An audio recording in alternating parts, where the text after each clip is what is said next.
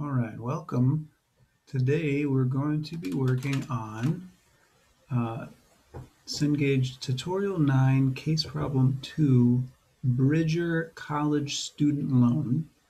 And I'm going to begin this assignment in the same way I begin all of these assignments. I'm going to first uh, open up my file in a new browser tab so that I can see the entire file, the entire page and then also so that I can sh- shrink that and get rid of it uh, so I can have more room to see my code. And then my next thing that I always do is I always read the summary uh, because I want to understand what it is that I'm working on before I begin working on it. So this one, the Bridger College Student Union, Sean Barris manages the website for the Student Union at Bridger College in Bozeman, Montana.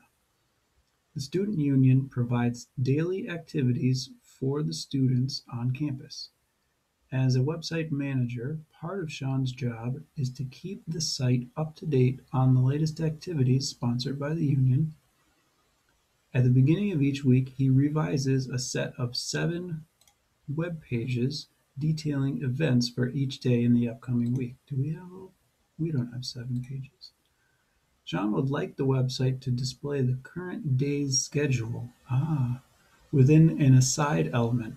To do this, the page must determine the day of the week and then load the appropriate HTML code into the element. He would also like the today at the union page to display the current day and date. The figure below shows a preview of the page he wants you to create. So this is the preview of the page, and this is a big step for our first venture into JavaScript. Hopefully they're going to ask us to do some small things at first. Uh, working with days and dates, uh, I personally would not have that be our first venture into JavaScript. But let's see what we have to do. All right, maybe we don't have much to do this time. Let's let's have a look at it. All right, first we're going to open up the BC Union HTML. I have that here. Uh, and the BC Today JS, that's the JavaScript file. So I'm going to open up that. Right, and we already have a bunch of JavaScript in here, so that's nice. We'll have a look at what that is in a moment. Uh, it says put your name and the date in each one. So I'll put my name and the date.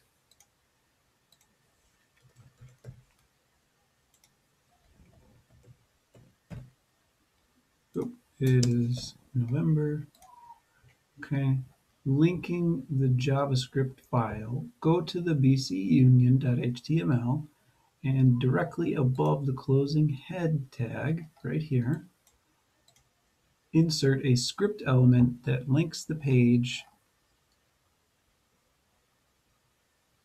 to the bctoday.javascript file. Defer the loading of the script until after the rest of the page is loaded by the browser.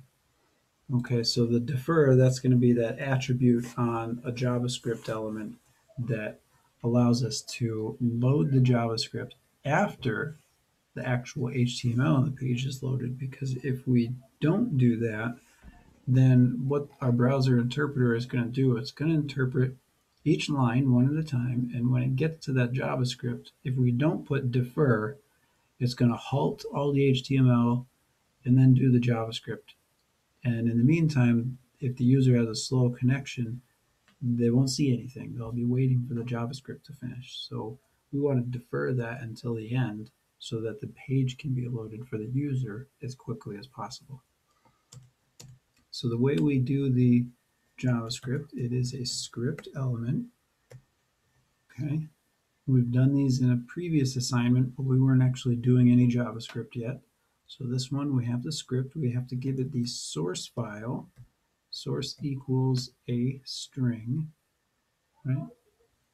And the source file is bc underscore today.js. That's the name of the file. It's not in any special directories. We can see right here, it's in our sandbox directory. We don't have to label anything for that because all the files are in the same directory.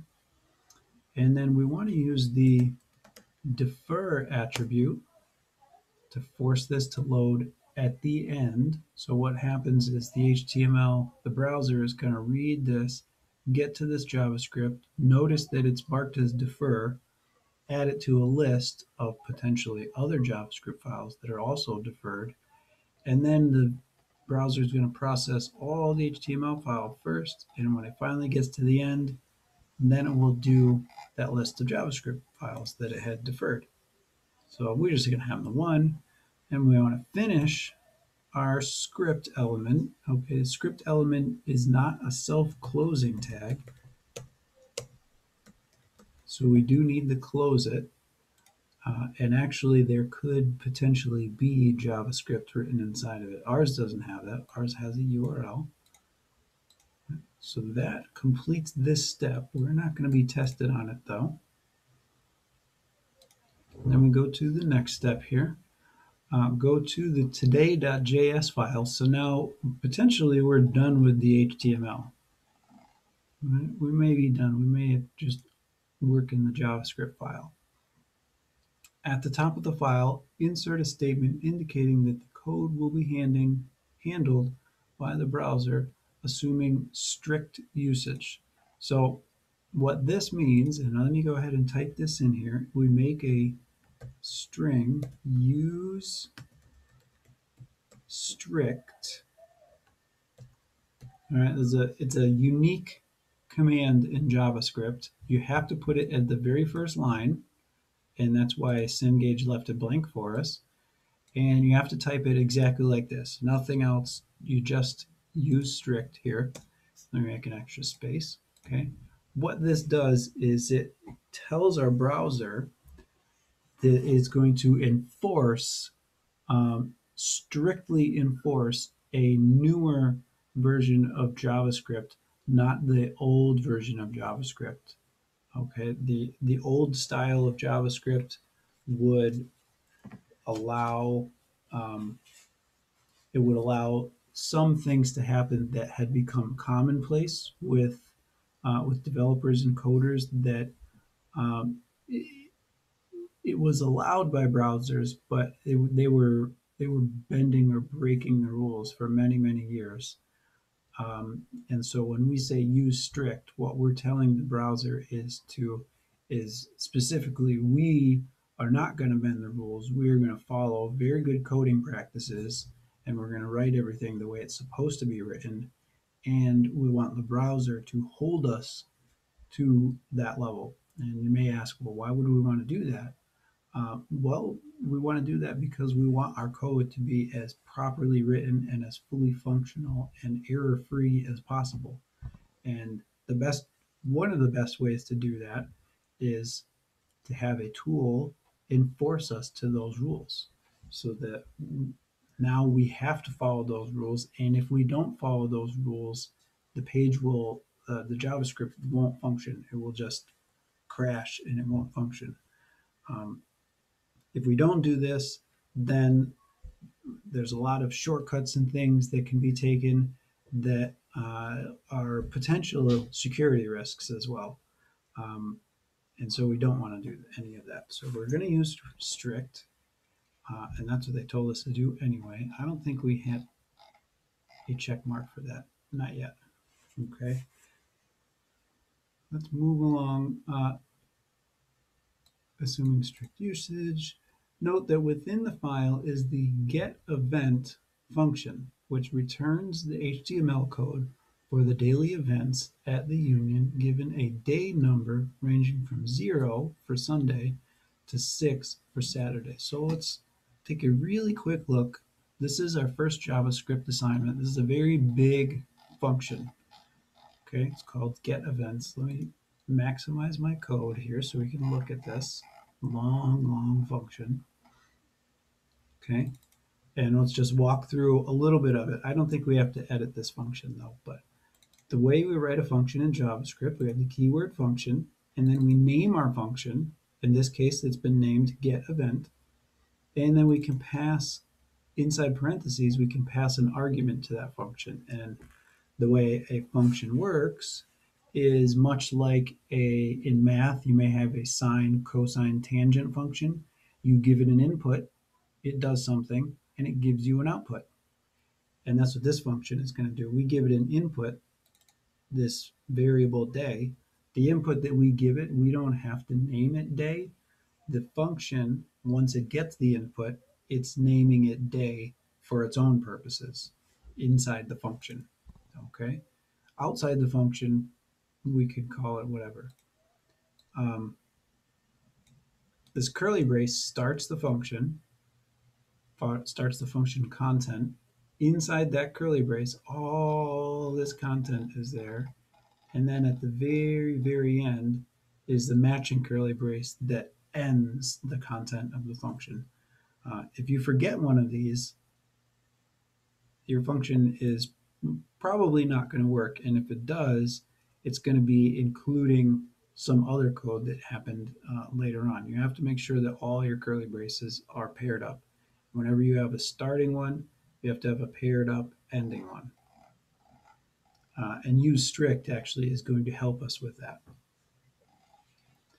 So inside the function, it's going to create a variable called event HTML the semicolon ends this command. All we've done is create a variable. It has no value yet. It just, we've opened a place in memory and says, this place in memory is for the event HTML variable. We'll put stuff in there later. And then we have this switch command, which we'll get to later, but essentially what we're going to do is, depending on the input, the input can be any number from 0 to 6, so 0, 1, 2, 3, 4, 5, 6, representing the seven days. Uh, depending on which day, if the day equals 0, we go to this part of code called 0. And we execute this all the way up until the break, which will stop the execution.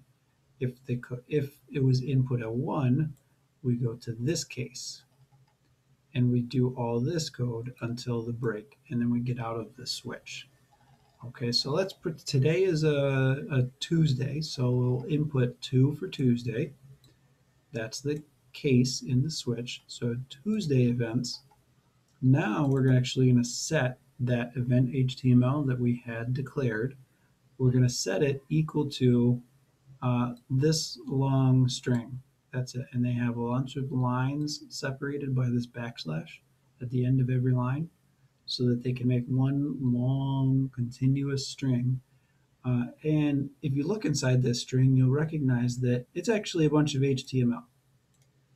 So we're setting the event HTML equal to a bunch of HTML written as a, a string of characters in JavaScript. And then we break, and that's all we do. And each day, that's exactly what's happening for each case of each day here they just have a different string. So these are all just uh, data lists with the events of the day for that day of the week. Um, and then Sean, the person there, he edits this file every week and just puts the event of the week in there. Um, at the very end of the function, the output is whatever the value is for event HTML. So not too difficult of a function. It takes an input, a number representing the day of the week. It switches to one of these sections based on what that number is, grabs a bunch of data, sticks it in the event HTML, and then in the end, that's what the output is. Okay.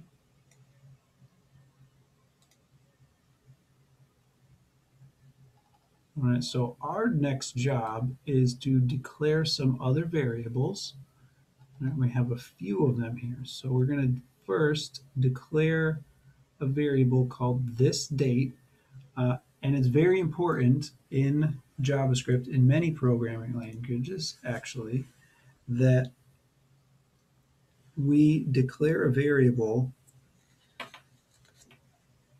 The case is very sensitive. So this date with an uppercase D and everything else in lowercase, that is very important. If we have a typo and we have a lowercase d or an uppercase some different letter, we'll actually be creating a different variable. We could potentially have two variables with what looks like the same name, but one is uppercase and one is lowercase. And as far as the program is concerned, they're completely different, even though they look similar to us. So it's very important that the day, uh, that the, the characters in here, the case, uppercase, lowercase, no spaces, spaces, do not put spaces in your names. They will not work. Uh, make sure that those are correct. So we're going to create a variable called this date, and we're going to make it contain a date object. So the most difficult thing we've done so far is this.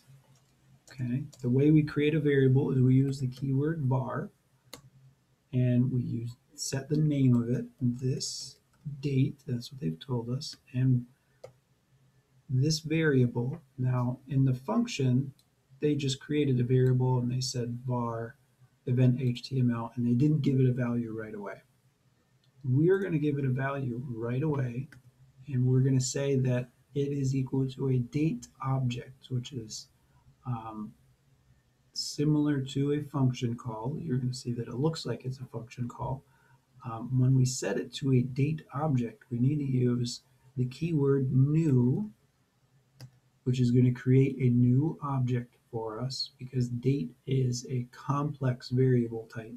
It is not a simple number uh, or string of characters. A date is actually complex. It has other functions that it can do on its own. Uh, and so we need to create a new date. And the date creation function is date with a capital D. So var this date equals new date. Uh, and we'll, we'll see what this does when we actually try to use it. All right, the next variable we're going to create is called date string. This variable will contain the text of the this date variable using local conventions. So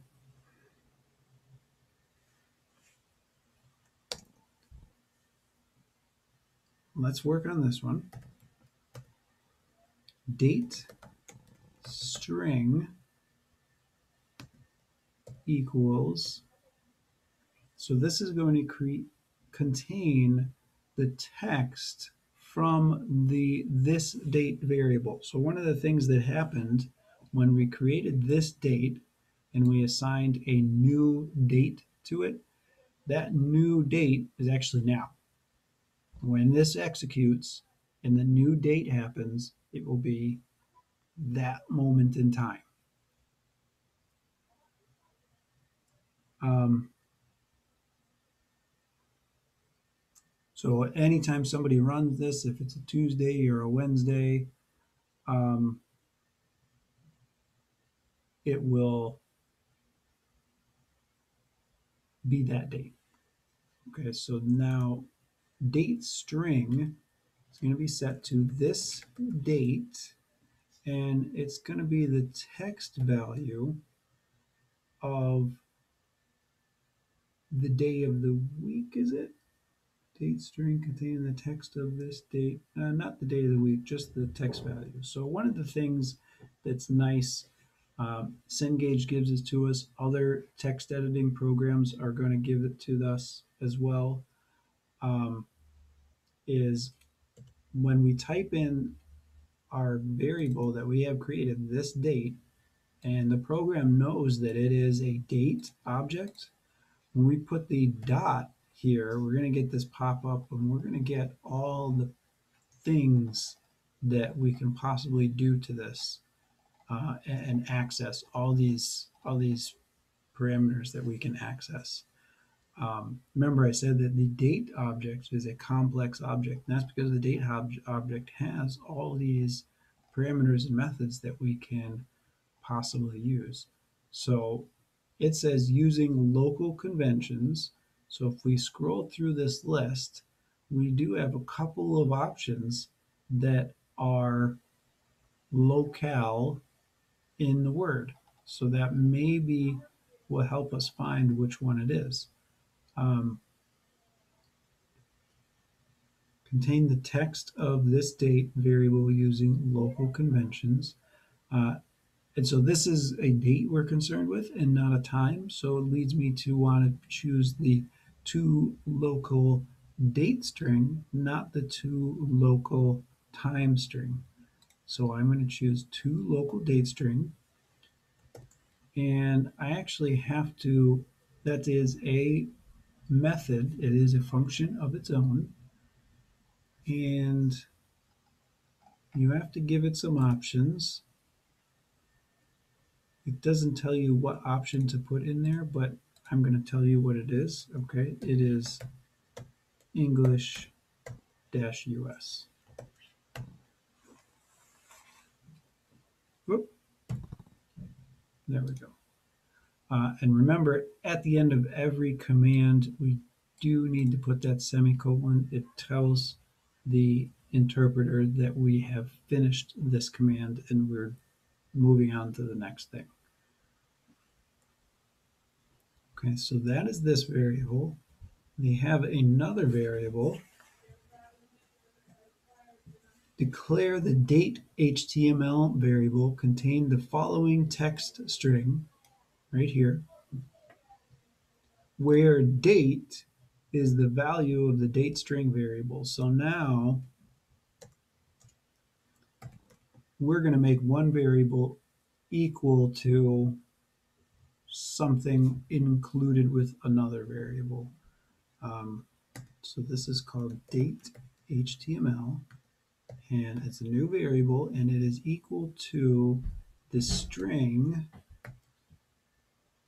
oops, h2 plus that date string value that we have already made plus we're going to close the h2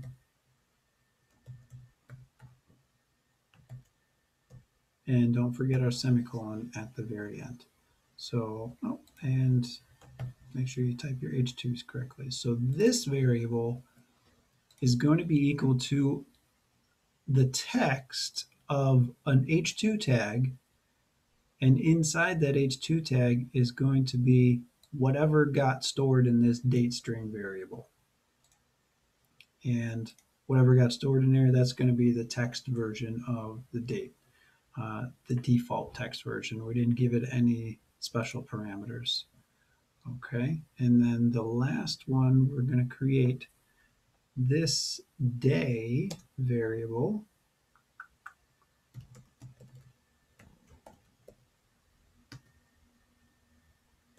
contain the day of the week number from the this date variable. And then it gave us a hint, use the get day method. Uh, so this day equals, remember, we're going to get the day of the week and we're going to extract that from this date that we've set. Because remember, this date, when it runs, it's going to be um, the current date of whenever you run it. So if I run it tomorrow, it's going to be tomorrow's current date. If I run it at 5.07 p.m., it's going to be run at 5.07 p.m. Um, and that's the, the time that'll be in there because the date will also have a time. So this date, they've set as a hint, use the get day. And get day is one of the methods that's in there. And this one, I don't need to give it any sort of argument. So get day with the open and close parentheses, and it will get the day from this date and assign it to the this day variable. Don't forget your semicolon at the end.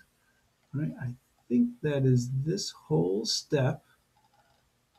And I should be able to get the check for that. Hopefully they give it to me correctly. All right, I'm looking at the the answer key and yeah, they did not. You test this.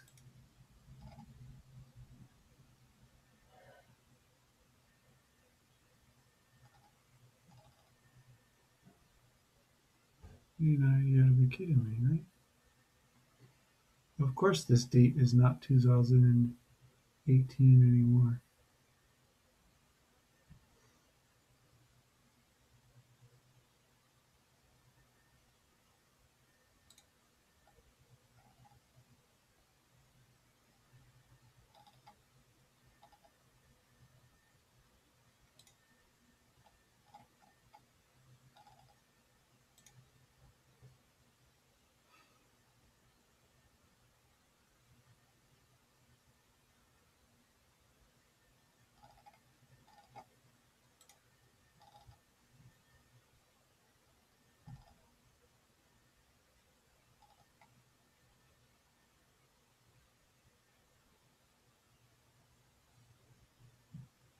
All right, well,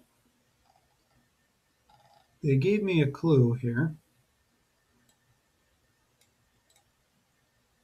Is they've showed this code. This isn't the code that I have in there, but I did use a new date, uh, and they want the date to be, ah, they did tell me to make it October 12th, 2018. I for, didn't go through that part, so let me put that in there. My mistake. I passed right over there. All right, so inside the date, I'm going to make it October 12th, 2018. And try this again.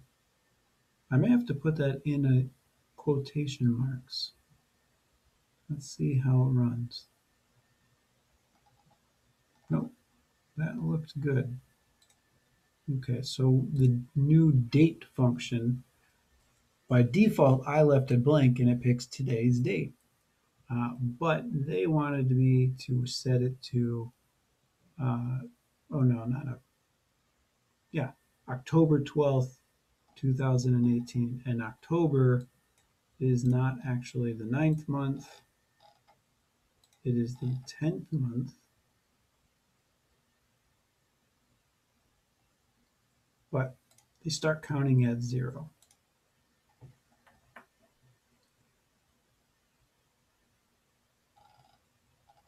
All right, so this step is done. Hopefully that made sense. I accidentally skipped it.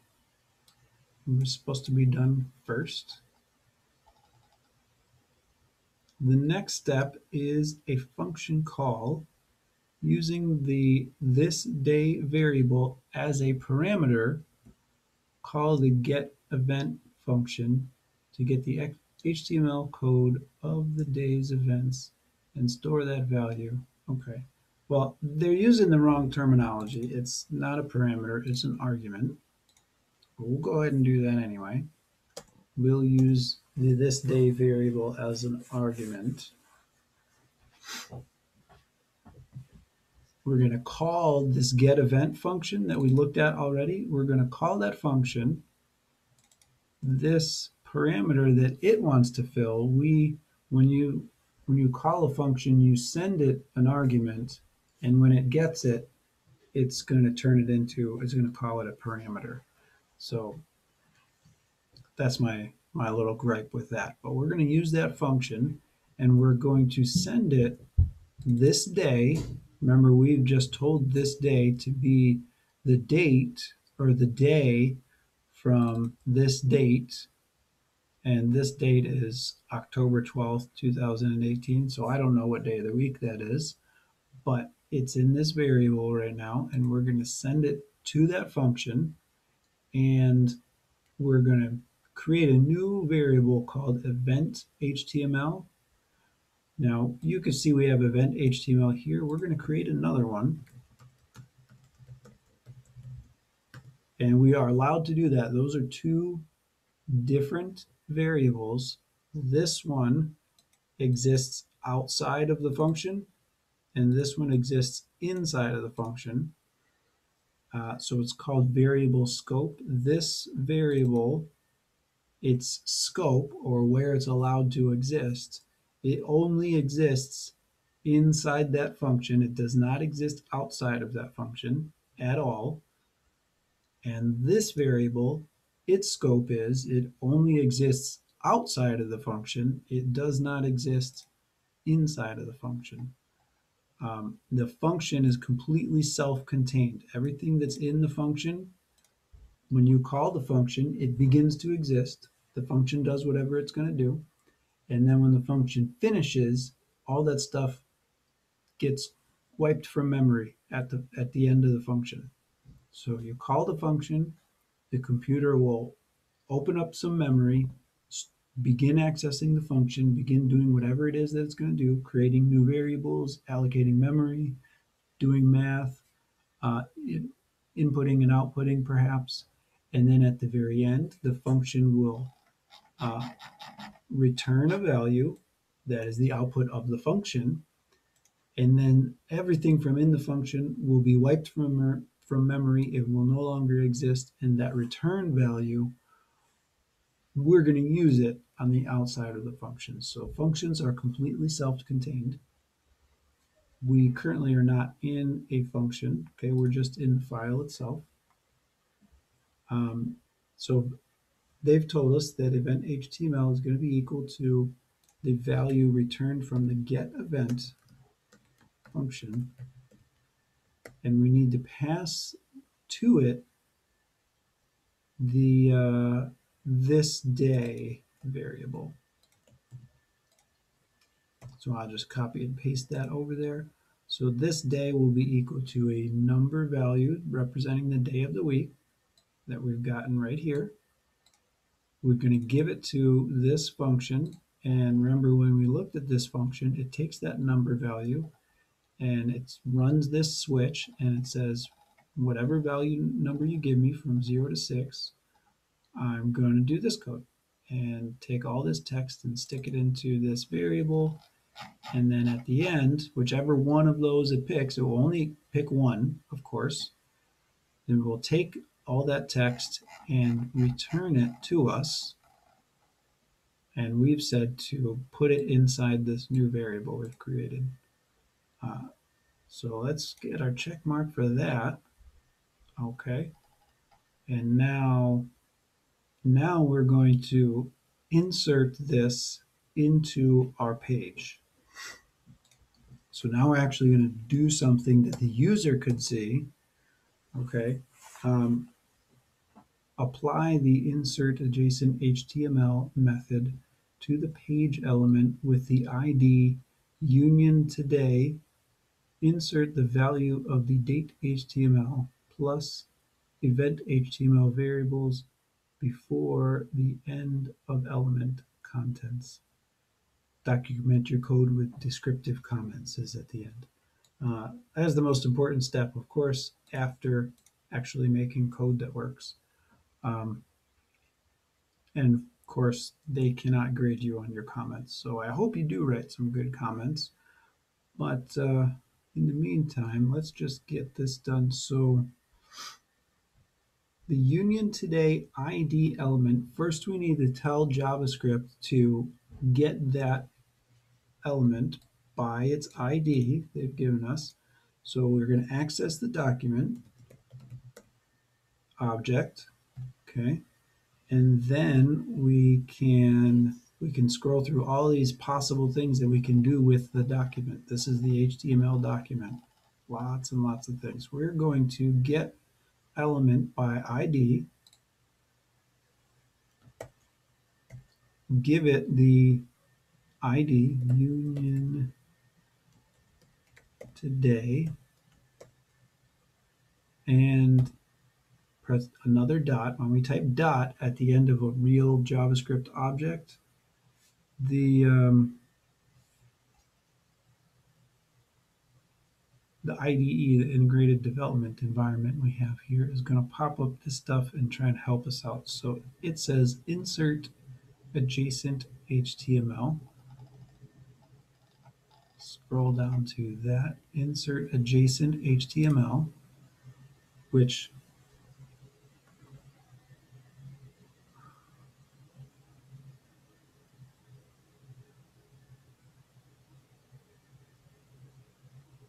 Okay, uh, and we're going to run this function, and they've said, oh good, when I have the parentheses, this, this is going to open up and ask me first, where do I insert the position? And they've told me before the end of the elements. Uh, so that's actually a string keyword before end. JavaScript likes to use uh, Pascal case where it starts lowercase. Every new word is an uppercase letter. Okay. In between each of these arguments, I put a comma. Let me give myself some more space here. And then the next one is going to be a HTML string of characters. And they've told me insert the value of the date HTML plus the event HTML. So the date HTML, which we did right here, remember this is an H2 with a string inside of it, and then the event HTML, which we got from the function. So one plus the other, date HTML plus event HTML. Uh, the plus sign is a command in JavaScript for us to stick two strings of characters together. It's not going to add them, it's going to concatenate them, put one after the other immediately.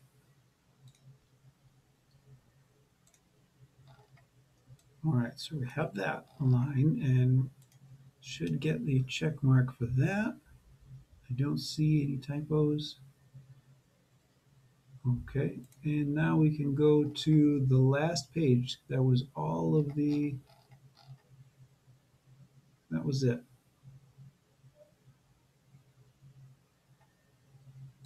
We can refresh my page and see what it does right here. It gets today's date, October 12th, 2008, not today's date, we specifically coded that. Uh, and then it got this text from that function and stuck it in here. If we inspect this, we can look that we will see the union today ID tag, this is the element, and then we've stuck all this stuff inside of it.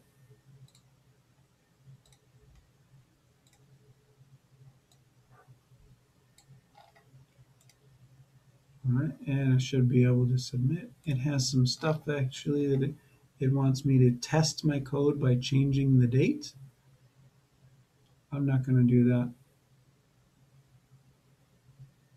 because I don't have a different set of events. All right, not going to do that. I do have the 100%. I'm not going two submit it. I'm going to leave it open. All right, and that is T9 case problem to the Bridger College Student Union. Right? And we use JavaScript to fill in uh, all of this information. All right. Great.